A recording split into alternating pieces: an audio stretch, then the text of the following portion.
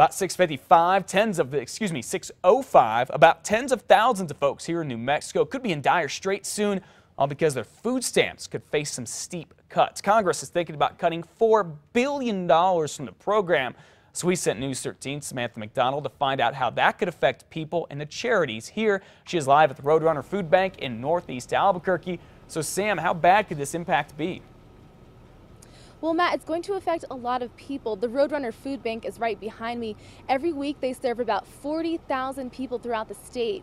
The bill is headed to the Senate, and if it passes, the food bank would receive less money for food to give out to hundreds of pantries throughout the state.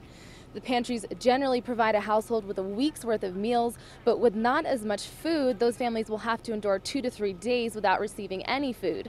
I went to one of these food pantries yesterday, and there was a constant flow of people coming in to receive boxes full of crackers, pasta, trail mix. The director there told me a lot of people who come in have been affected by the poor economy. They're unemployed, and many others are elderly or disabled.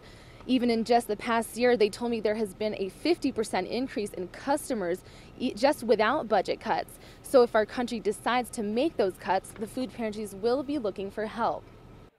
Everybody in the food chain in this city is going to need to step up and help us to try to fill the empty bellies that we're trying to fill.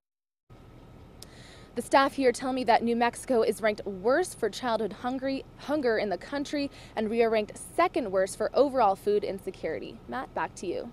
All right, thank you for that update, Sam. Horrible statistics for New Mexico there. Now, once again, the U.S. House has passed the bill. Even though Democrats, even some Republicans, were against it, the Senate is threatening to kill it. We will keep you updated.